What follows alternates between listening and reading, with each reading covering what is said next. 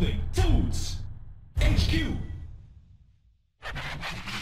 Hey, hey guys, what's up? I am Paul Niiyama from Muscle Building Foods HQ.com, and I'm a fitness specialist, which means that I help people just like you to get in shape with advice for working out, nutrition, and motivation for you to do those things correctly and consistently. And in this video, I am talking about some issues that people run across when they're trying to lose weight. If you're doing everything correctly, that means that you're eating right, that you're working out hard, that you're getting the proper rest and recovery. If you're doing all these things right and you're still having trouble losing weight, it might be one of these issues that I'm going to talk about. I've got three main things that I've run across with my clients that um, have prevented them from getting the kind of results that they deserve with all their hard work that they put in. So if you're putting in the work, if you feel like you aren't getting the results that you should be getting from all that work that you're putting in, might not be your fault. It could be one of these three issues. And the first issue that I'm going to talk about is a thyroid problem. Now, this is actually pretty common. The thyroid is um, responsible for making that thyroid hormone in your body, and that that is responsible for your um, metabolism. And it's obviously very important if you're trying to lose weight. You want your metabolism to be fast if you're trying to lose weight. You want to be able to burn calories fast. And uh, if your thyroid is not producing enough of this hormone, your body is not going to uh, have the proper metabolism. So um, if you suspect that your thyroid is not working properly, having hypothyroidism, hypo with a H-Y-P-O, um, if you think that that is an issue, and it's actually pretty common, go to your doctor, get that checked out, have them do tests, and um, unfortunately the best solution for that is a medication, but that could help you with uh, losing weight. Uh, ran across that many times with my a lot of clients, uh, working hard, putting in the work, lifting hard, you know, eating correctly. I'm like, what is going on? They went to their doctor, thyroid checked, medication, boom, the weight dropped off. So that is the first uh, and probably the most common issue that I've uh, ran across. Number two, also very common, probably not as common as the thyroid thing, but that is an insulin sensitivity problem. So insulin is a, another hormone in the body, and that is also responsible for uh, many of the metabolic processes in the body that um, will help you to lose weight or gain weight. And uh, if your body is making too much insulin, you're having too much insulin in your bloodstream, you're not going to be able to burn fat as uh, quickly as you should. Because if there's a lot of insulin in your blood, your body is not going to be burning fat. So if you're making, if your body's not sensitive to insulin, it's going to be making a lot more of this stuff. You're not going to be burning fat as as, um, as quickly as you should. Um, it's going to make it very hard. Some scientists think that it's caused by fat. Others think it's caused by sugar.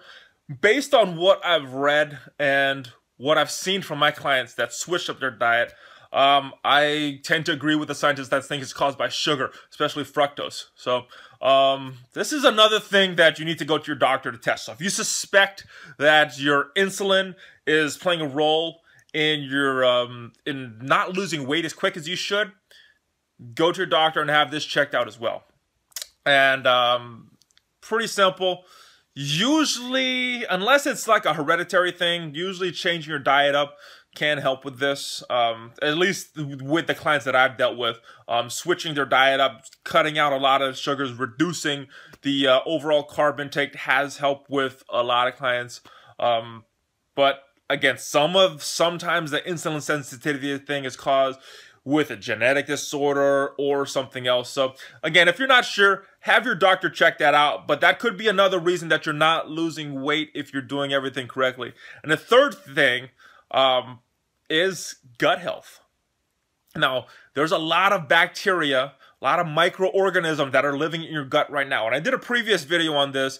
Um, I'm not going to go into too much detail on this video because I went over a lot of stuff in my last video. But there's a lot of bacteria in your gut. There's over 100 trillion bacteria, microorganisms that are living in your gut right now. And I was on Chris Kresser's blog, and he did an analogy. If you laid a trillion, one trillion dollar bills from end to end, you would be able to go all the way from the earth to the sun and back and still have a lot to spare. That's one trillion. You do that a hundred times. That's how much bacteria is living in your gut. So that that I thought that was uh, a pretty big number. It's hard to grasp your head around just how big a trillion is, but that's that's how big a trillion is. That's how much bacteria is living in your gut. And if these things are out of whack, there's good beneficial bacteria in your gut and there's harmful bacteria. And if you have way too much harmful bacteria, that's going to screw up your metabolism. That's going to screw up your appetite, make you want to eat more than you should because all this stuff is not being absorbed properly into your body. So if you have a problem with your gut health, that could prevent the weight loss that you potentially deserve. So again, if you're not sure about this, this is something that a doctor would have to do test and check out.